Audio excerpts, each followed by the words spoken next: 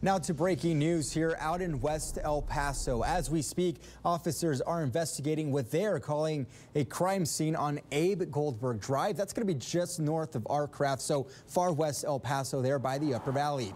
An ABC7 viewer actually calling in with a tip saying officers have been on the scene for hours. Police say that there was an injury on scene, but did not go into any specifics there. We'll, of course, continue to follow this story as it develops. Look for developments and updates online at KVIA.com.